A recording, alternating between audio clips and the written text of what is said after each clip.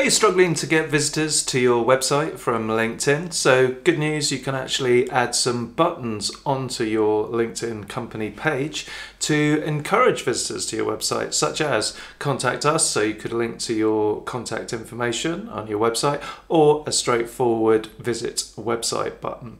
In this video, I'll be taking you through the simple steps on how to set this up. I'm Jonathan Pollinger. I've been a social media trainer since 2009, helping businesses achieve their objectives using social networks like Facebook, LinkedIn, Instagram, Threads, Pinterest, and all the major social networks.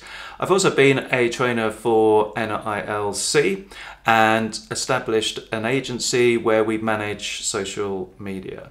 If you're interested in learning more about the contents of this video or any aspect of social media, check out the links below.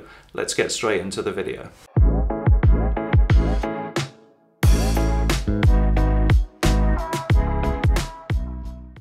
So we're going to look at how you can add the custom button as LinkedIn calls it to your company page. I prefer to call it the action button.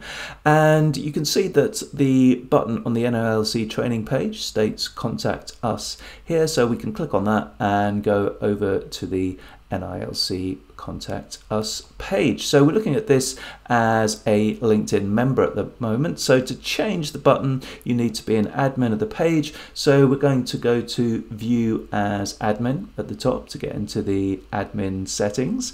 And then what you do, you drop down to edit page where a number of the page settings are available.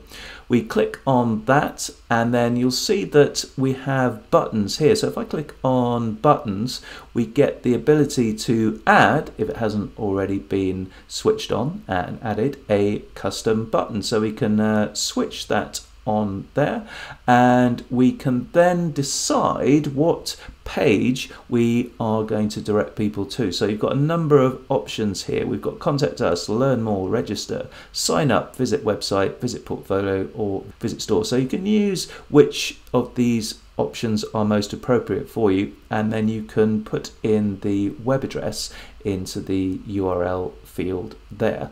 And then once you've uh, done that, it's worth checking the uh, the preview of what it's going to look like, uh, which we um, checked uh, just now. And uh, that is it. It is uh, switched on. It is all uh, saved, so we can um, come out of that. And just to confirm, go back to the member view, and there is our contact us button.